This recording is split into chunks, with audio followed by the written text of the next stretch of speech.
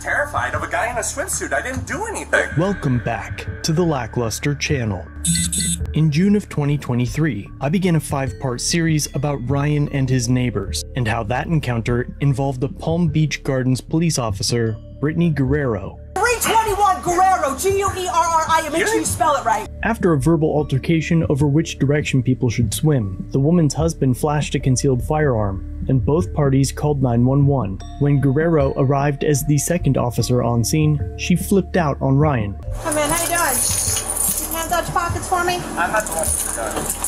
Sir, I don't keep your hands out of your pockets. Put the Relax. phone I down. haven't done a crime. Don't talk to me like Listen that. to me. I don't know you. You Listen, can put I don't down. know you. You're the one with the gun. Why? Get down on the ground now. Get What down the on the fuck is ground. this? Get down on the ground. What the Because fuck? I told you not That's to reach for anything. I haven't committed a crime. You don't have any. Hands out to your side I haven't now. committed a crime. The man that flashed his firearm fearlessly fibbed. because he called us and said that you were armed. So how did he know that? I mean, if I lift my shirt up, you can see it. Okay, so did you want him to see that you were armed? Did you tell him you were armed? Um, I don't, no, I don't think so. No. And Ryan was taken to jail. I would love for you guys to arrest me right now for this. I don't want you to talk yourself into going to jail. But once supervisors realized their mistake, Ryan was set free, and the aggressor was issued a citation for improper exhibition of a firearm.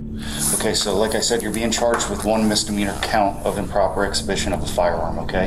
An investigation into Officer Guerriero's actions began shortly after. It was your belief that he could have been armed, He could have been, yes. and you felt that he wasn't following your commands, so you felt the need to draw your weapon. Correct.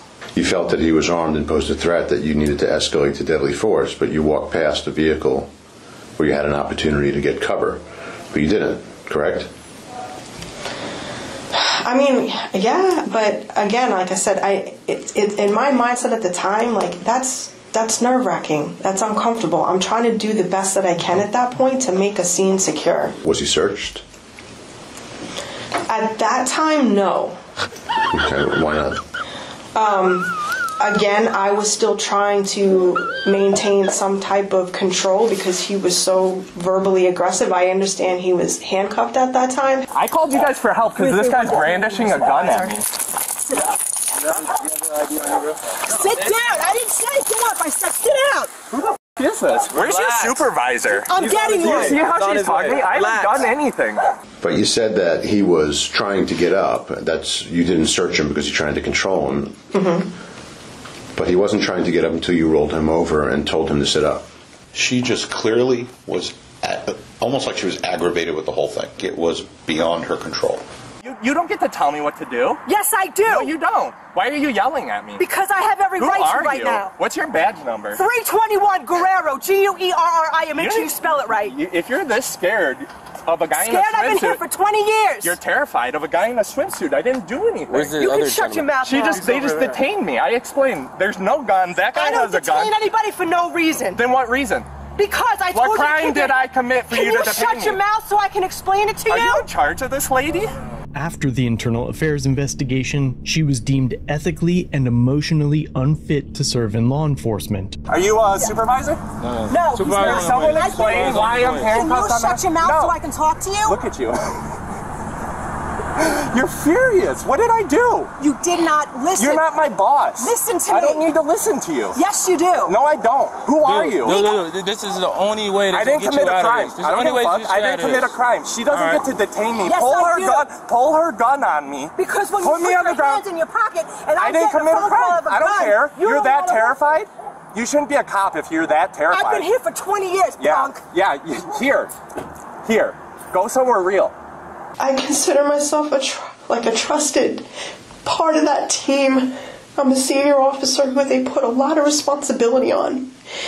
I cannot tell you the amount of times I made OIC because I'm one of the most senior and trustworthy people on that shift and they know that. Since being terminated, the good old boys with the police union say that her termination was mine and your fault. We're gonna test that. Because of the barrage of negative online attention, which caused Guerriero's supervisors to overreact. But now I want to speak on behalf of the 5,200 brave men and women of the Houston Police Department and the other 800,000 police officers that are working these streets every single day, putting their lives on the line.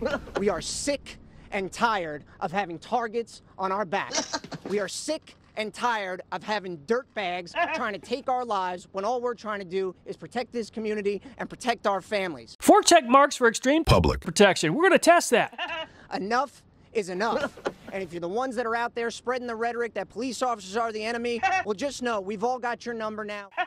We're going to be keeping track of all of y'all, and we're going to make sure that we hold you accountable every time you stir the pot on our police officers. We've had enough, folks. We're out there doing our jobs every day, putting our lives on the line for our families. enough is enough. firing her in violation of her labor rights, and used that argument to win her job back through arbitration. The police union that represents Officer Bethany Guerriero confirms the Palm Beach Gardens Police Department has reinstated her. 2023 surveillance video shows Officer Guerriero pulling a gun on a man named Ryan Gould. Gould says he had called 911 to report a man in the complex threatening him. Gould was unarmed, in a bathing suit, and says he was wrongly arrested. He said the charges were dropped as he was being processed to enter the Palm Beach County Jail. After an internal investigation, police fired Officer Guerriero in September. I checked her personnel file and found she had been suspended for misusing police equipment to do a background check. She also had commendations for rescuing a man. The head of the union representing the officer tells me she got her job back after arbitration. The Palm Beach Gardens Police Department has not provided specific details regarding her rehiring, so I requested the recorded audio, video, or at the very least, the written transcripts of her arbitration hearings. But the department is claiming that no records of that exists. As mentioned in a previous video, Ryan is suing Officer Guerriero and Strzelecki for the unlawful arrest and excessive force. However, earlier this year, Guerriero denied violating Ryan's clearly established constitutional rights and asked the judge to dismiss the lawsuit before it goes to trial. But in July, a U.S. district judge called her argument misplaced and abandoned, as it was a premature bid to invoke qualified immunity without actually calling it such, adding, quote, I cannot find as a matter of law at this stage in the proceedings that defendant Guerriero is entitled to qualified immunity. Strzelecki, the rookie officer who drew a taser on Ryan during the incident, asked to be removed from the lawsuit by claiming he was just following Bethany's lead and that he had no authority to stop her. We were only following orders, nothing more.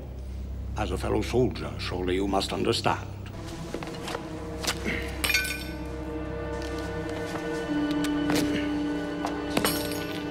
Now you're no longer a soldier. You are all war criminals.